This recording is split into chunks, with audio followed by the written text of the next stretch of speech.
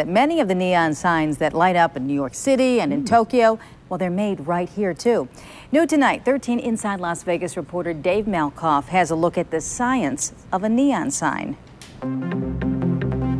These lights shine worldwide, the buzzing attraction of Neon Vegas. I think people are drawn to it a lot like insects are drawn to light. Magic goes back to 1920.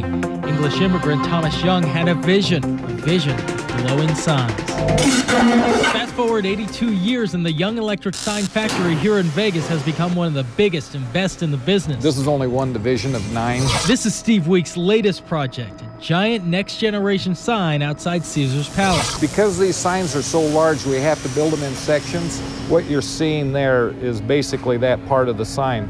So this is section 5 of 15. The pieces don't come together until they're ready. So they can go to the next process, which is having the skin put on and then the color.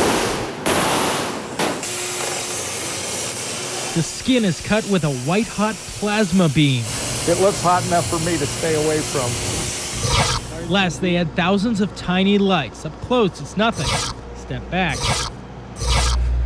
Sheer magic. It's a factory full of neon experts, painters, electricians, and a woman who can bend glass in a circle. Like so, and I'm going to bend it all the way around so to illuminate it. I was kind of play with it a little bit before. Trying to get my concentration going.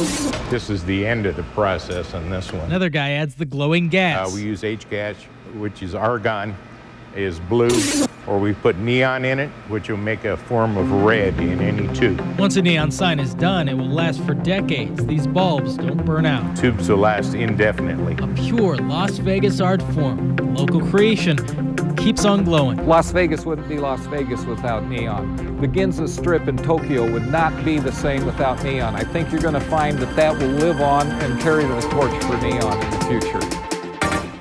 Dave Malkoff, 13 Inside Las Vegas.